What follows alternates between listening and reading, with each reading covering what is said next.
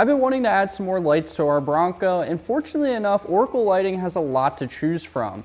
In today's video, we're going to be looking at the Oracle Lighting LED ditch lights and JP's here with us to be able to talk about them and even show us how to install them. So let's go ahead and jump into today's video.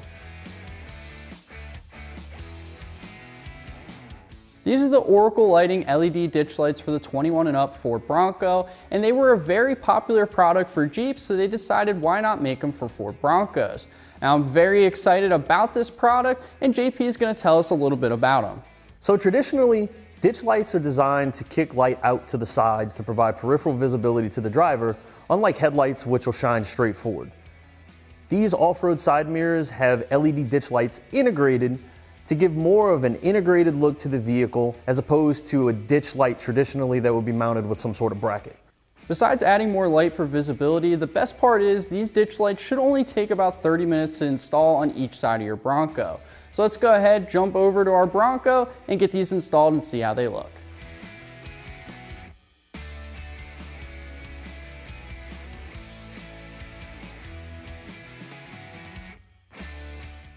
Before we jump into today's install, if you have any questions about the tools that we're using, check out cjponyparts.com forward slash tools or click the link in the corner of the video for a free video and PDF file showing you what tools you should have and how to use them properly and safely.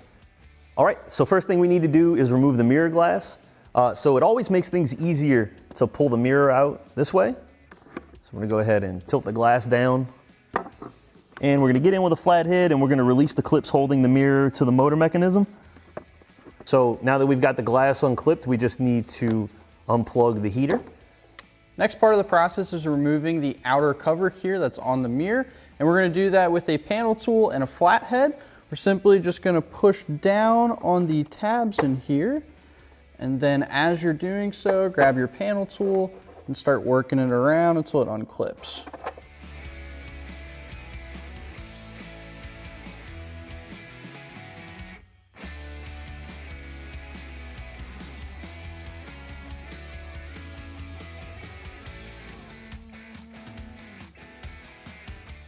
After you have the mirror cover removed, you can go ahead and remove the accessory panel next.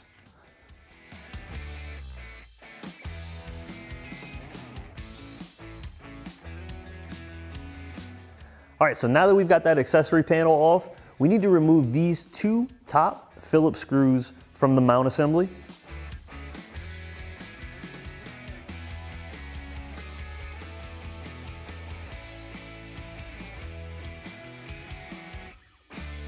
So today we're installing these mirrors on a base Bronco with the base mirrors. If you have the Lux package, you also notice that you have a marker, a 360 camera, and a puddle light to swap over. You can do that by simply removing this cover for the marker, this cover for the 360 camera, and this cover for the puddle light. All right, so before we install the mirror cap, we just need to run the cable through the mirror arm. So we're gonna tuck our cable here.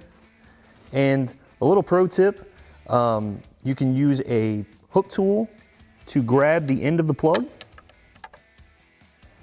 So now we'll pull all of the slack out of this. So we're just gonna make sure that our cables ran the same route as the factory mirror cables. That'll just ensure that they don't get pinched. Now we're gonna make sure that this lip lines up perfectly here. We wanna keep in mind that there's a gasket here that can push this out. So we're gonna go ahead and Get this lined up.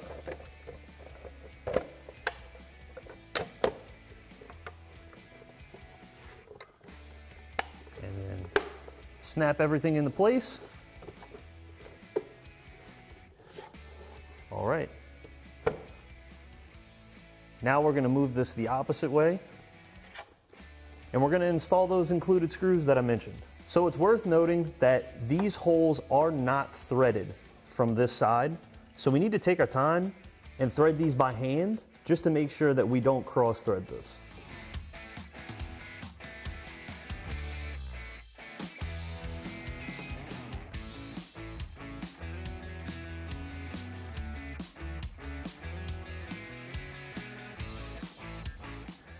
After you have your new Oracle Lighting mirror cap installed, it's time to go ahead and start putting everything back together. But before doing so, we're gonna have to run this wire into our engine bay so that we can wire it up later.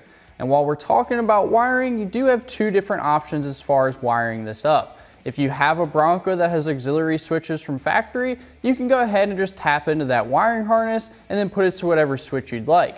Now, if you don't have an auxiliary switch from factory and your Broncos like ours, which is a base, then you'll actually have to just hook this wire up to a separate switch and run that inside the cab of the Bronco, and then you'll be all set from there.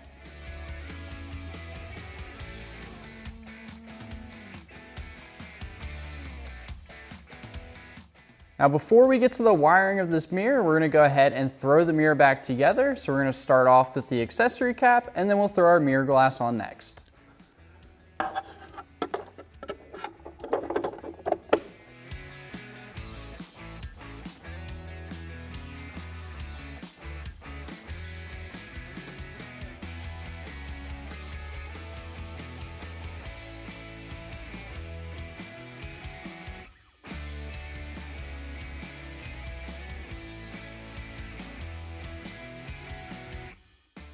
Now it's time to put the mirror glass back on, but when you're doing so, don't forget to hook up the heater element wires.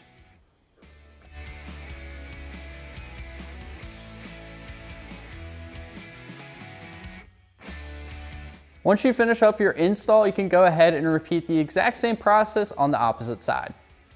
Well, we are all wrapped up with the Oracle LED ditch lights for the 21 and up Ford Bronco. And I gotta say, these things look absolutely awesome and the install was super easy. I do want to say thank you to JP from Oracle Lighting for coming out today. He was a very big help for this whole process. Yeah, it was a ton of fun to be here. Uh, love visiting the guys here at CJ Pony Parts. And if you'd like to purchase these mirrors, you can check out our website, cjponyparts.com, because we have plenty of them in stock. Now it's time to drop a gear and disappear. Don't forget to like, comment, and subscribe. And of course, if you need any off-road parts, then just click the link down below in the description.